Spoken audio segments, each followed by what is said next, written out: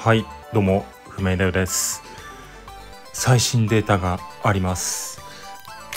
一度タイトルに戻ります。ということで、まあ、つむつむ速報ということで更新データが来ましたと。はい。でまあとりあえず何キロバイトかっていうのをまあちょっと見ていきたいんですけれども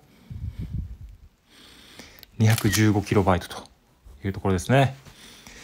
でまあこれはまあ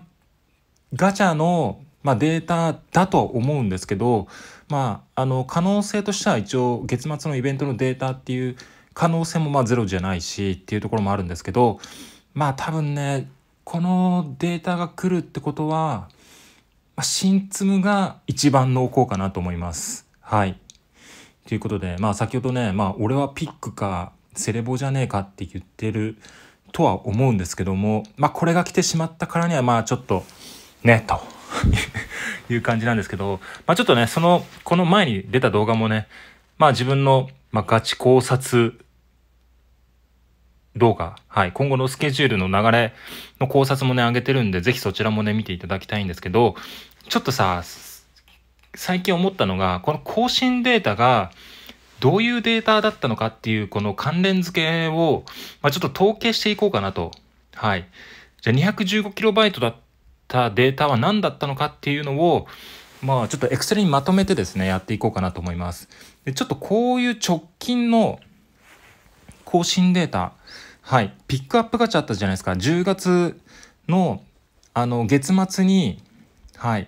ハロウィンピック、急遽、あの、アップデート前に更新データが来たんですけど、その時、じゃあピックアップガチャは何データだったのかっていうのをちょっと見たいんですけど、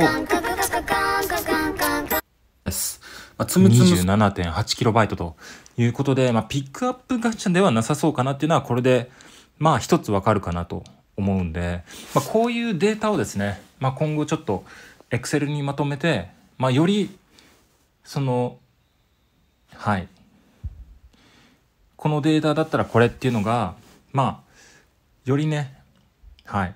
分かりやすいというか、まあ、当てやすく、まあ、していきたいなと思いますので、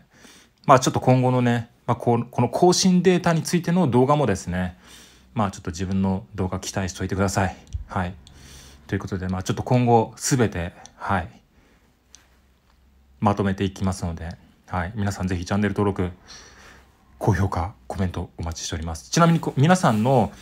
この 215KB は何何だと思いますかということを ぜひね、コメントを教えてください。まあ多分、新通かなどうかなはい、っていう感じです。ということで皆さんありがとうございました。バイ。